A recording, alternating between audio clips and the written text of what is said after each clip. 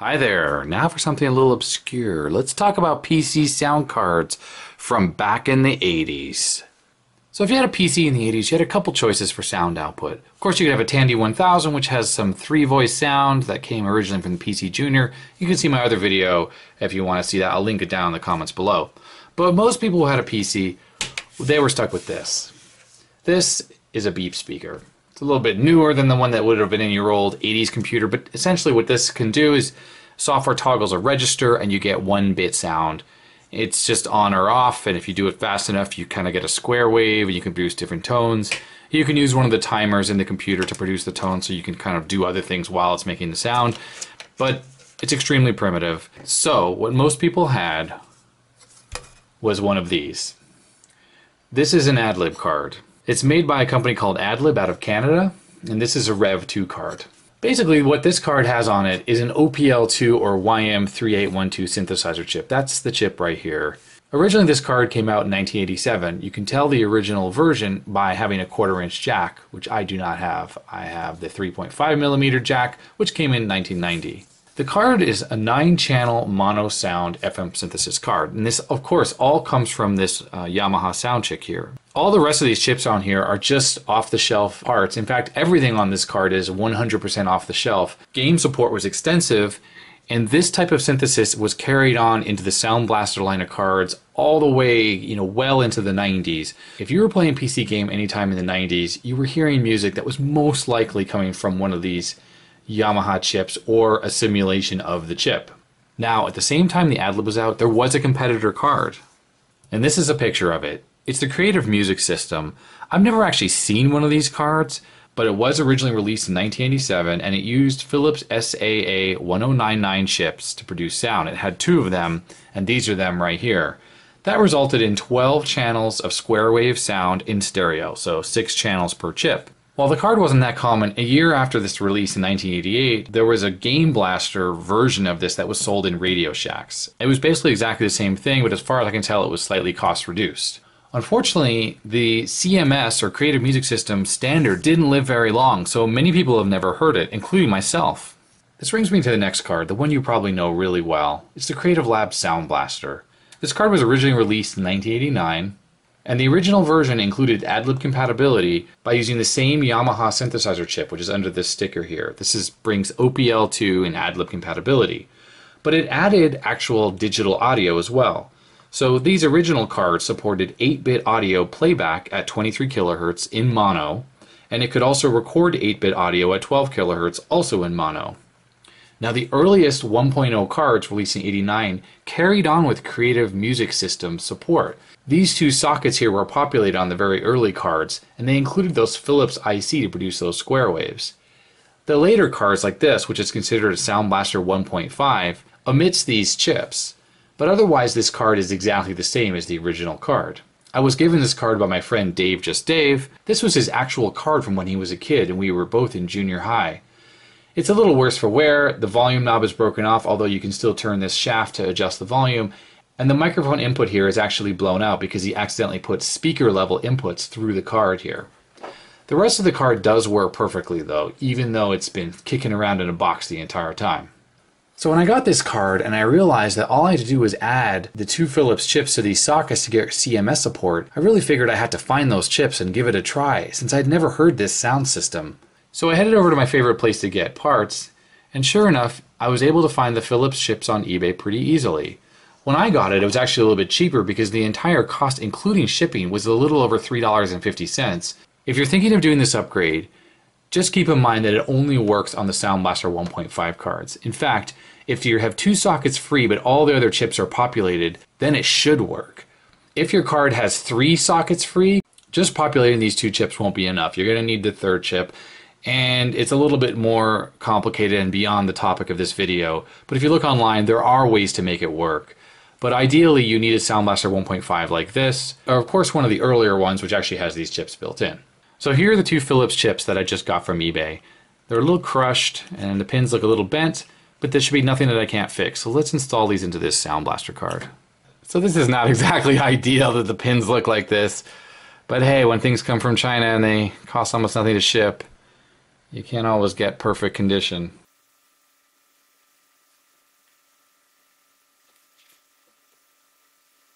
Alright, so the Philips chips are installed. The pin straightening was a little bit of a pain in the ass, but otherwise it went right in without too much trouble. And I used some DeoxIT on the sockets to make sure that there was good contact, because this board is pretty old and a little crusty. So let's put this in the 286 and see how it works. Alright, so first I want to see if the Sound Blaster is still working with AdLib sound after I just sort of molested it. So let's give Silpheed a try. It's currently configured for AdLib sound. Alright, great.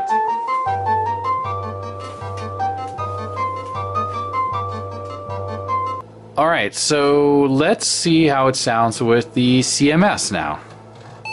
Okay, to change it over to use the other one, we have to run the install. And that will allow us to configure the sound card. So we're going to pick EGA Graphics, because that's the best with this game. So we have AdLib Music Synthesizer, but the Creative Music System, aka the Game Blaster. That's what we're going to pick. And let's run the game. Okay, here we go. How does it sound? We'll hear in a moment. Here comes this music if it works. Or it's busted. I don't know. We'll see. The trips might not work. The card might be broken. Who knows? Wow.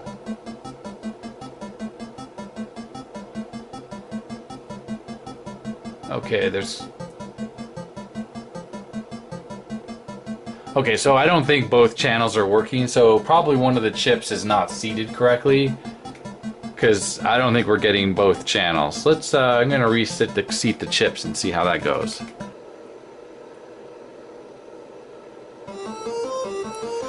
Alright, so I'm back and it's now working. As you can hear, we're listening to the CMS sound in Silpheed. And I'd say it's decidedly less good than it is on the AdLib. Now what was wrong before? I was actually only getting one channel of audio, and it turned out that the Sound Blaster board was missing one of the audio output capacitors. So if you see here, I sort of traced back on the board um, and I noticed this capacitor was missing. So I was actually missing the entire right channel. I didn't realize that this was a stereo card. I just assumed it was mono. So I was only getting sound out of the left speaker. I just thought that's how it worked. But the CMS part of the Sound Blaster is actually in stereo, even though nothing else is on this card.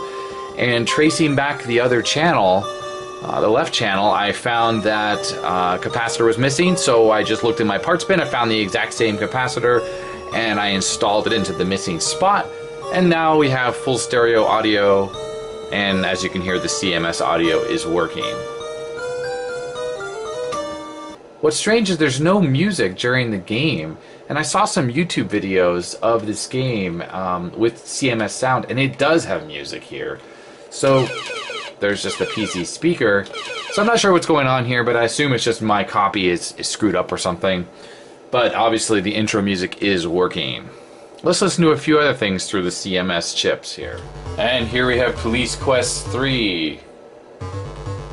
Running through the CMS. Yeah.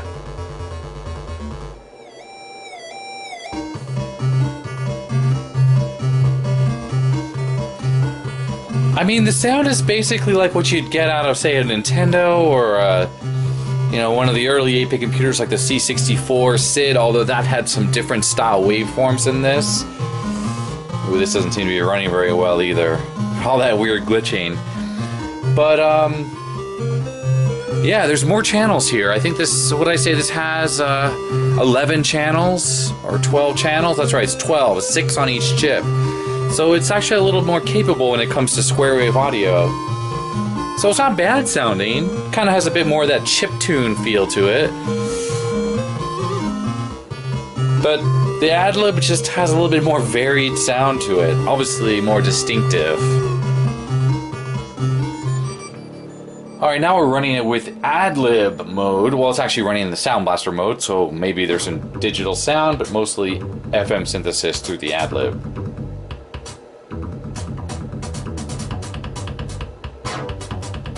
Well, there's a bit more percussion, because of course the AdLib can do drums a little bit better.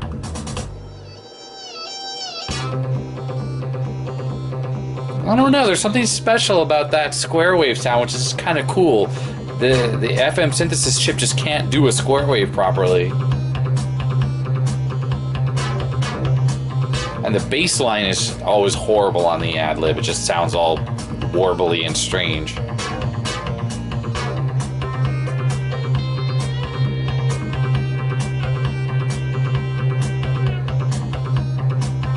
I don't know. I can't tell which I like better. I, I kind of like the kind of digitally 8-bit chip sound on the other the CMS chips. Alright, so this game here is The Secret of Monkey Island, and it just has a fantastic soundtrack. Of course, here we're listening to the AdLib version of it. There's no Sound Blaster support on this. Let's just listen in.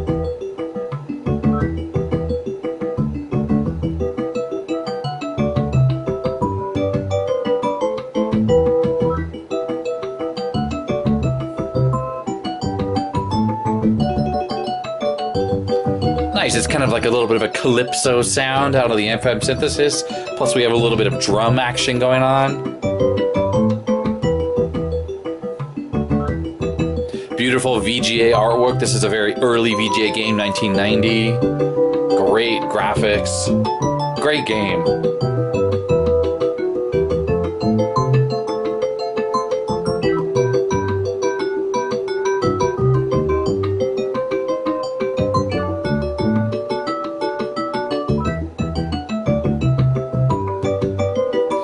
The AdLib would have been a huge upgrade from the horrible PC speaker sound that you get on a on a regular PC. So this sounds pretty good. Let's uh, let's try the CMS now. All right, now we're on the CMS. Very different on the intro here.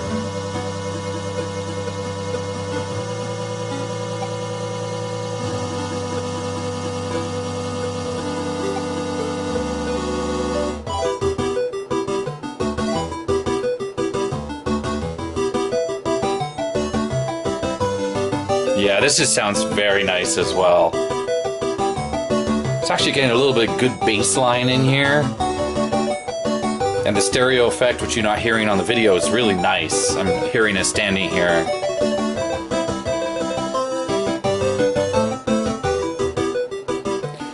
Lots of polyphony going on right now. Ah, yeah, this sounds really great. This is such a great. The soundtrack on this game is just fantastic.